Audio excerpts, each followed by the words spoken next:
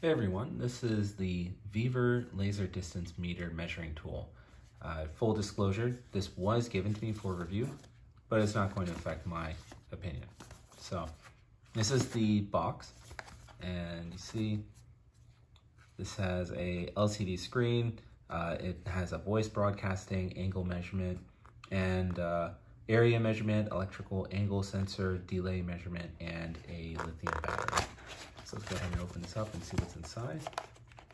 And we got the manual. Here's the actual tool itself.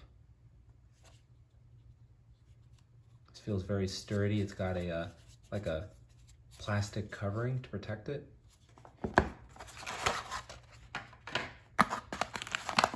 There's a carrying case inside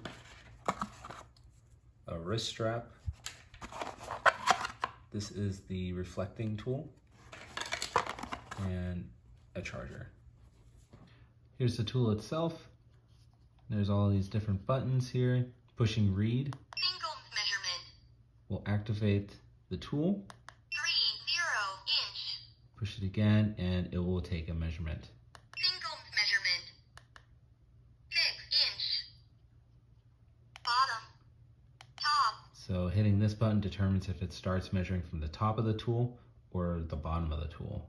So this tool has multiple measuring features. It provides a multiple function for including area, measurement. distance, length, volume, continuous measurement, Pythagorean method, uh, three points additional for subtraction, etc. It can display four different measurements. It can display in uh, meters, inches, feet, inches, and feet, which is really convenient to use as well.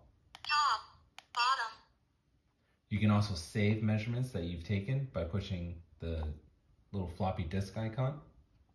And if you've taken any measurements like right now, Single measurement. Three five inch. you can clear it by hitting the clear button, Clear off. which will clear all of it. So it's very sturdy, it's very handy, uh, it's very light, and this is going to be very handy for me to use. So I really like this item, and I think this is a great pickup.